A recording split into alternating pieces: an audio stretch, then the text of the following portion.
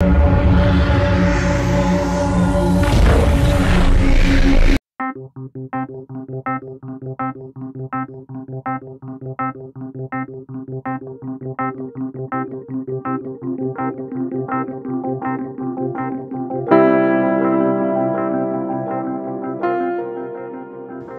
तस्करी कांड में गिरफ्तारी के बाद आसनसोल की जेल में बंद तृणमूल कांग्रेस के बाहुबली नेता अनुव्रतो मंडल की बेटी सुकन्या को लगी 50 लाख रुपए की इनामी राशि वाली एक और लॉटरी का पता चला है।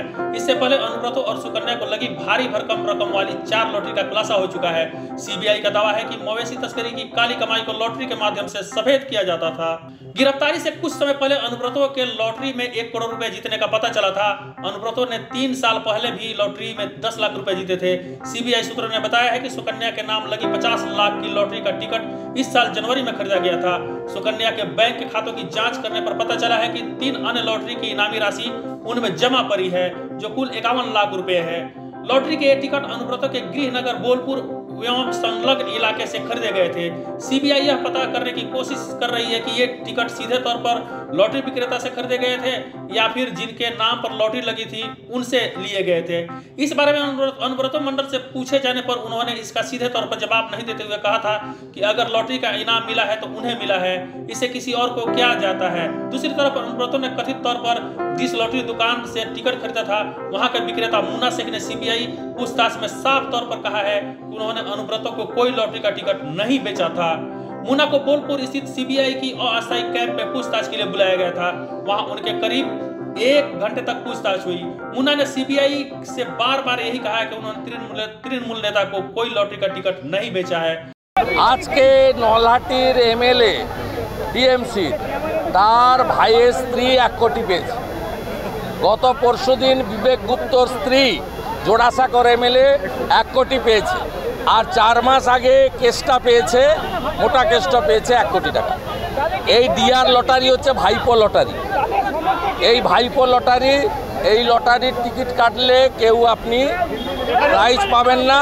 এটা টিএমসির স্পন্সর টিএম চিটফান্ড গেছে, কিন্তু ডিআর লটারি ডিআর লটারির নামে আরেকটা চিটফান্ড চালাচ্ছে তৃণমূল কংগ্রেস, পশ্চিমবঙ্গের যুব সমাজকে, বেকারদের, দিন আনতে দিন খাওয়া লোককে।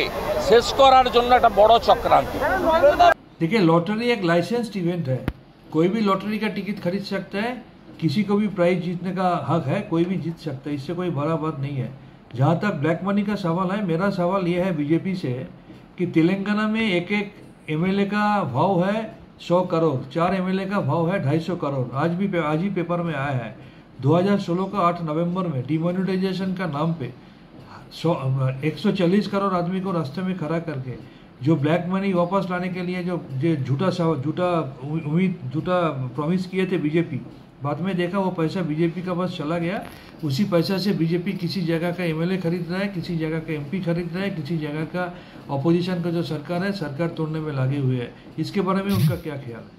हम तो ये बोल रहे हैं, जो बोल रहा है, उनको, जो लीडर ऑफ़ अपोजिशन जो बोल रहा है, उनको दिखा गया खुले हम टीवी का सामने पैसा लेते हुए पकड़ा गया। उस उसका मुँह पे ये बात शोभा नहीं देता है। और ब्लैक मनी अगर किसी का पास है तो वह बीजेपी जिस पैसे से वो इतना इतना सारा पैसा, करोड़ों करोड़ों पैसा खर्चा करके चुने हुए सरकार को तोड़ने में लगे हुए हैं, दूसरे स्टेट के एम एल को खरीदने में लगे हुए हैं।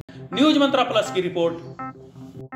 Wellman Finance is a personal finance platform focused on empowering and serving millennials to take a well-informed decision while buying a financial product like home loan, personal loan, business loan, loan against property, credit card, car loan, SME loan, insurance, etc. हमारे channel को like subscribe करें और bell icon दबाना न भूलें